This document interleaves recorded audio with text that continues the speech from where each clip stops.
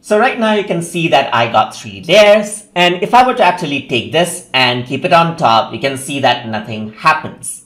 That is because this is a normal mode. But what you can do is you can blend these colors out together by using blending modes. And to do that on the layer for shape 4, I'm just going to right click and over here on the left side you can see blending mode is an option.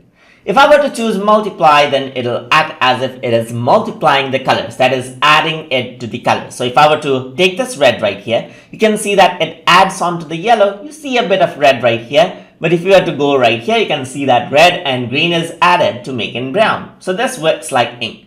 Similarly, you can go around onto the screen, which works in the opposite way. It seems as if now I'm signing a light onto the green here. That is I'm shining a red light onto the green surface which produces yellow and then I'm shining a red light onto yellow surface which is uh, producing a bright yellow just like this. So that is how blending modes work.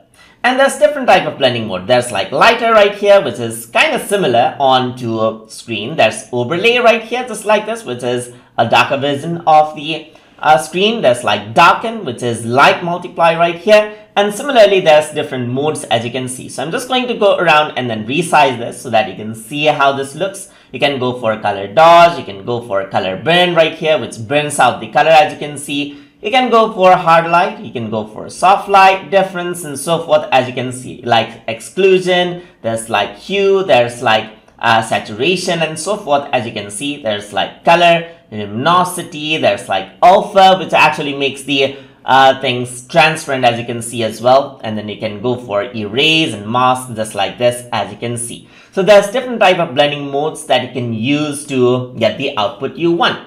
So that is how you can use blending modes inside of Pixlr E. So hope you guys learned something as always.